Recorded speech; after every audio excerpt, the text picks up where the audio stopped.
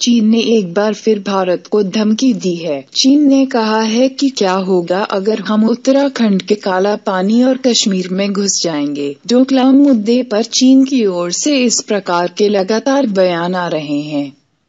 इससे पहले मंगलवार को भी कहा गया था कि भारत के प्रधानमंत्री नरेंद्र मोदी उन्नीस सौ बासठ वाली गलती दोहरा रहे हैं। चीन के सरकारी अखबार ग्लोबल टाइम्स के अनुसार।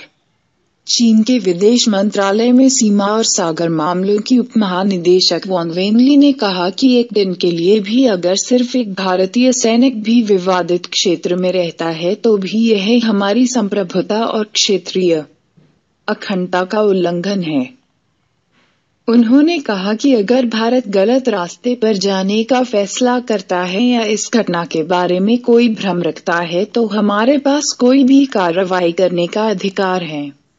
वॉन एक भारतीय मीडिया प्रतिनिधिमंडल को संबोधित कर रही थी। उन्होंने भारत को छेड़ते हुए कश्मीर का मुद्दा उठाया और भारत और नेपाल के बीच की काला पानी विवाद का ज़िक्र किया।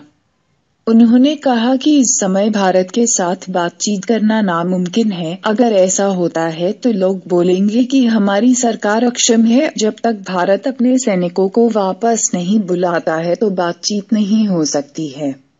आपको बता दें कि इससे पहले ग्लोबल टाइम्स पर जारी करीब डेढ़ मिनट के इस वीडियो में अखबार के संपादक ने कहा है कि नई दिल्ली आज भी उन्नीस सौ बासठ के जवाहरलाल नेहरू की तरह अनुभवहीन है।